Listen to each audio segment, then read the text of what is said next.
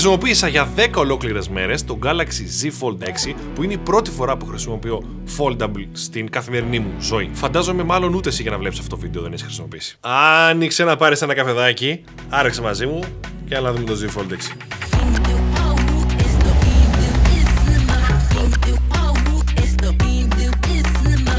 Γεια σας, είμαι ο Κώστας από τους Digital Amusers και όντως για πρώτη φορά ρε παιδί μου χρησιμοποίησα για λίγο παραπάνω και το έχω ακόμα φυσικά το Galaxy Z Fold 6. Για έναν που δεν έχει συνηθίσει λοιπόν να ανοίγει για να κλείνει ένα fold κινητό, θα το πιάσω την αρχή κατευθείαν στο ψητό.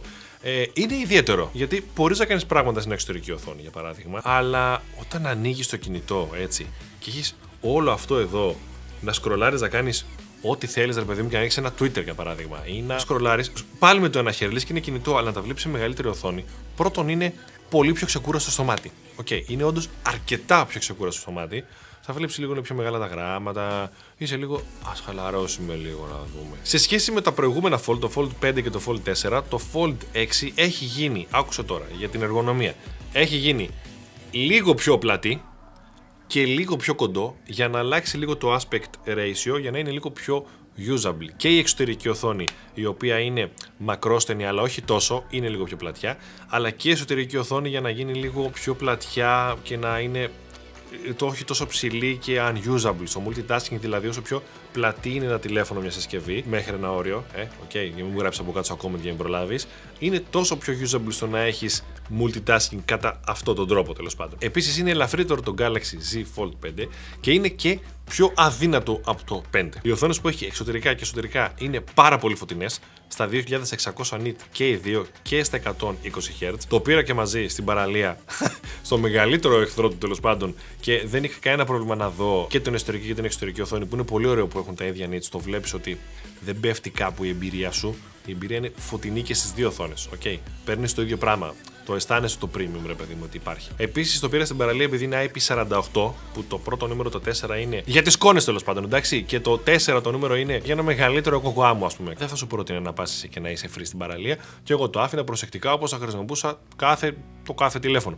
Δεν έπαθε κάτι, εντάξει; Και είναι και αδιάβροχο που είναι ο δεύτερος αριθμός που είναι το 8. Που είναι αδιάβροχο όπως όλα τα υπόλοιπα κινητά. Δεν έχει καμία διαφορά εκεί. Ένα άλλο που θα παρατηρήσεις και το έχουν πει και άλλοι χρήστες σίγουρο και το βλέπω και εγώ και το είδαμε και στη Samsung που μας κάλεσαν να τα δούμε στην πρώτη φορά και είπα και στο πρώτο βίντεο των πρώτων εντυπώσεων.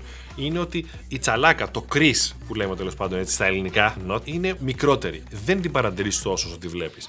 Μπορώ να πω όλες αυτές τις μέρες που συνήθως στη μέση της οθόνης είναι αυτό που κοιτάζει, ρε παιδί μου, και θε να δεις. Αρχίζω να μην το παρατηρώ. Δεν μπορώ να πω όμως ειλικρινά ότι δεν το βλέπω. Α, το ξέχασα μετά από 5 λεπτά. Έχει μεγαλύτερη τσαλάκα από άλλα foldable τηλέφωνα, όπως το OnePlus που είχαμε δει εδώ στο κανάλι, το OnePlus Open, που εκεί όντως δεν έβλεπε σχεδόν τίποτα. Εδώ βλέπεις. Ο καθένας για δικούς τους λόγους μπορεί να το έχει κάνει αυτό. Επίσης έχει 7 χρόνια υποστήριξη και Google Updates δεν ξέρω σε 7 χρόνια που θα είναι τα foldable για να έχεις ακόμα ένα Z Fold 6 είναι αλήθεια. Είναι η έκτη εκδοχή, δηλαδή δεν έχουν περάσει 7 χρόνια που υπάρχουν και αν δεις το πρώτο ουσιαστικά με αυτό δεν έχει καμία σχέση. Οπότε στα επόμενα 7 δεν ξέρω τι άλλο θα μπορούσαμε να έχουμε κάνει. Okay. Και επειδή σύγκρινα με τα υπόλοιπα foldable ήδη την τσαλάκα, έχω να σου πω επίσης πως δεν είναι τόσο αδύνατο όσο τα υπόλοιπα foldable τηλέφωνα.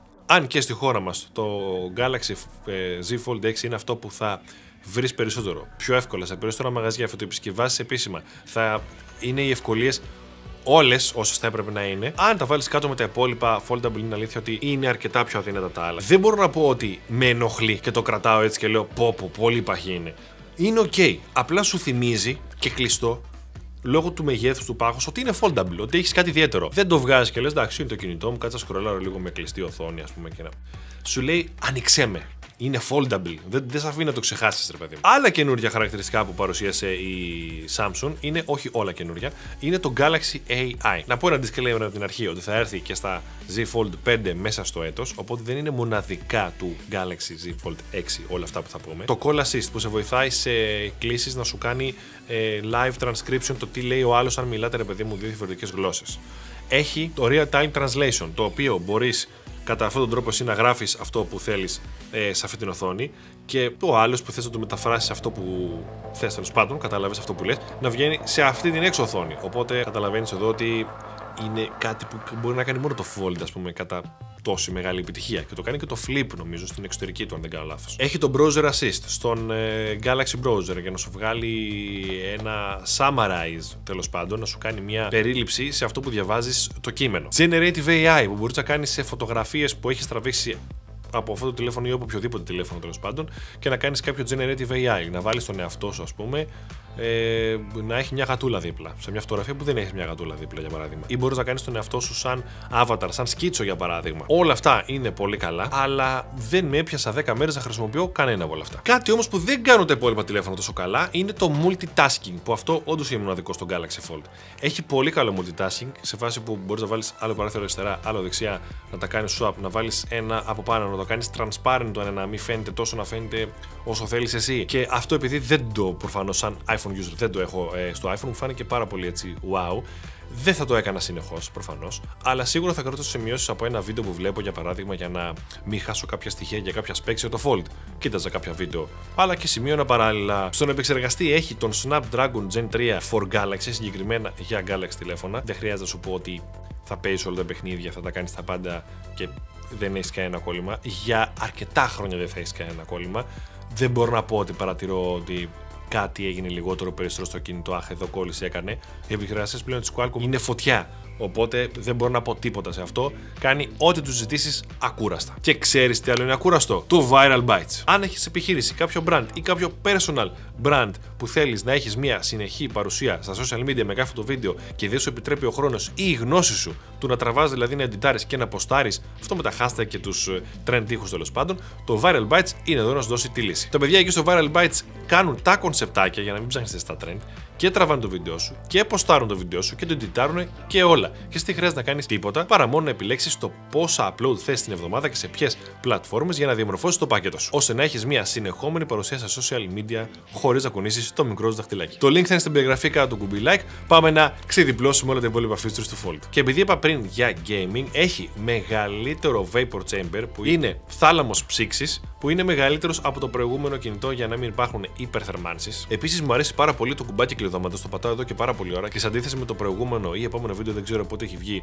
του Pixel 8 τέλος πάντων Α, που δεν μου άρεσε καθόλου, αυτό είναι ένα premium κουμπί όπως θα έπρεπε να είναι. Κάμερες όμως, τι γίνεται; Ξέρω ότι μάλλον δεν πήρες ένα Fold 6 γιατί θες τις απόλυτες wow κάμερες, γιατί μάλλον ψάχνεις το multitasking και όλα τα υπόλοιπα. Αλλά οι κάμερες γενικά είναι decent κάμερες, καλές κάμερες που θα έχει ένα κινητό το οποίο θα ήταν το top non-foldable κινητό 1300 ευρώ, θα ήταν ένα κινητό 800 ευρώ.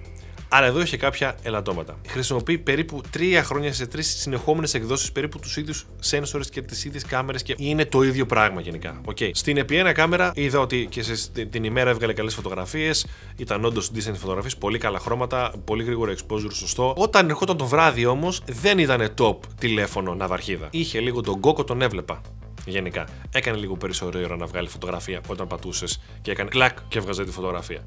Η selfie μου άρεσε αρκετά, αλλά και πάλι δεν είναι η top κορυφαία selfie που θα βρεις, αλλά είναι σε πάρα πολύ καλό επίπεδο. Η έξτρα καμερίτσα, ρε παιδί μου, η μέσα δεν θέλω να τη σχολιάσω τόσο πολύ, γιατί είναι ε, κάτω από την οθόνη το under display και είναι για σκοπούς πολύ συγκεκριμένους, κάνοντας μια κλίση έτσι, βλέποντας τον εαυτό σου που δεν θα τη χρησιμοποιήσεις για να βγάλεις μια selfie. Οι κάμερε, αυτό που θέλω να πω για να καταλήξω είναι ότι ρε παιδί μου για 2.100 ευρώ, 2.099 ευρώ που είναι η retail τιμή της συσκευής που βγήκε χθες, δεν περιμένεις ίσως να κάνεις ρε παιδί μου κάποια υποχώρηση σε κάτι. Θα κάνεις τι κάμερες. Ναι, είναι το form factor που είναι διαφορετικό, αλλά είναι και το πιο παχύ foldable. Γιατί να μην έχει τις καλύτερες κάμερες που θα μπορούσε. Επίσης, πάλι σε σχέση με άλλα foldables, αλλά και ναυαρχιδών τέλος πάντων κινητών διαφορετικών, έχει πολύ αργή φόρτιση. Είναι στα 25 W. Παίρνω το folder, παιδί μου, για να είμαι επαγγελματίας, γιατί το θέλω, είμαι απαιτητικός χρήστης. Θέλω να έχω το multitasking, το έτσι, το αλλιώς. Μπορώ να παίζω και παιχνίδια. Μπορεί να κάνω κάποια πράγματα που είναι έντονα. Γιατί να μην φορτίζει και λίγο πιο έντονα επίσης, λίγο πιο γρήγορα. Επίσης για την τιμή του, γιατί όλα κρίνονται βάσει της τιμής σε αυτόν τον κόσμο και σε αυτές τις συσκευές που είναι top, έχει 256 GB χωρητικότητας.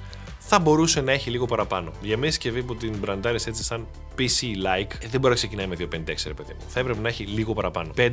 Παίρνεις μια συσκευή που είναι μια άλλη κατηγορία τώρα. Είναι κινητό, αλλά είναι άλλο κινητό. Και μπορεί να βελτιώθηκε το aspect ratio και να είναι λίγο πιο πλατή και έξω και μέσα κτλ. Αλλά είναι το ψηλότερο από όλα και το μικρότερο από όλα σε φάρδος. Μεγαλώνει σιγά σιγά το fold και αρχίζει και πλαταίνει. Πάλι τα άλλα είναι πιο φυσιολογικά όταν κλείνεις έτσι το τηλέφωνο. Δεν είναι αυτή η μακροστενιά που βλέπεις εδώ. Okay. είναι λίγο πιο φυσιολογικό, πιο μεγάλο. Μ' αρέσει πάρα πολύ το σασί. Εκτιμώ πάρα πολύ τα ομοιόμορφα bezels και τα όσο μικρότερα γίνεται και τα πάρα πολύ καλά ηχεία. Πάρα πολύ καλά ηχεία. Εκτιμώ αυτό το box design που είναι πιο χρήσιμο γενικά να το χρησιμοποιήσεις. Παρότι δεν περίπου στις γωνίες εδώ, όντως μπορεί λίγο καταλαβαίνεις που είναι η γωνία έτσι εδώ με το χέρι. Το εκτιμώ όλα αυτά, αλλά θα μπορούσε να ήταν το κινητό λεπτότερο και θα μπορούσε να έχει λίγο καλύτερο aspect ratio. Πάμε σιγά σιγά προς τα εκεί. Πολύ σιγά πάμε προς τα εκεί. Και για να καταλήξω, το Fold 6 είναι ένα τρομερό εργαλείο. Πραγματικά το κινητό είναι κορυφαίο. Με βόλεψε πάρα πολύ στις σημειώσεις στα social media. Στο να ε, βλέπω κάτι και να είναι πιο ξεκούραστα στα μάτια μου. Νούμερο 1. Το quality of life, η ποιότητα ζωής για σένα δηλαδή. Να βλέπεις μεγάλες χορταστικές εφαρμογές, να έχεις 120 Hz, ε, να έχεις decent μπαταρία. Άλλο που δεν φορτίζει γρήγορα. Να έχεις decent μπαταρία και να είναι. OK, okay, αυτό που πρέπει να είναι. Εντάξει. Έχει όμως κάτι. Δεν πληρώνεις 2.100 ευρώ για να πάρεις το foldable, το ακριβότερο που είναι και το κορυφαίο σε σχέση με τις ναυαρχίδες τα κανονικά κινητά. Πληρώνεις 2% και κάπου κάνεις θυσίε ενώ δεν θα έπρεπε κατά την άποψή μου να κάνεις θυσίε με 2.100 ευρώ. Θα έπρεπε να πάρω το Galaxy S24 σε Fold. Παρ' όλα αυτά θα το κρατήσω και πάντα θα είναι μέσα στην τσάντα μου για να κάνω το multitasking που μου αρέσει. Και αν θες ένα Fold 6, νομίζω ξέρεις ποιος χρήστης είσαι. Δες εδώ ένα άλλο βίντεο για κάποια άλλη Samsung συσκευή. Ελπίζω να σε βοήθησα και θα τα πούμε στο επόμενο.